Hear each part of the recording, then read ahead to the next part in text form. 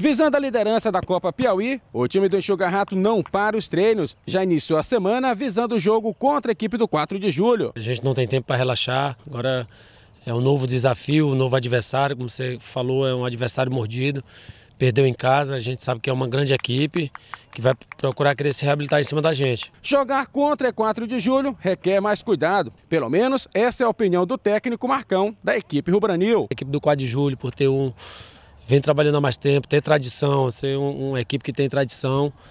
E por ter perdido o jogo em casa, eles vêm com uma proposta diferente aqui contra a gente, né? Então a gente vai se preparar para surpreender aqui em Teresina. No jogo contra a Sociedade Esportiva de Picos, o time do Piauí Esporte Clube finalizou com três atacantes, Fabiano, Maranhão e depois o atacante Silas, que entrou e fez o gol. Marcão diz que tem toda a semana para analisar qual o esquema técnico e tático que irá usar no jogo contra o 4 de julho. A gente vai trabalhar durante a semana, a gente vê qual vai ser a melhor equipe que a gente vai pôr em campo, a melhor formação.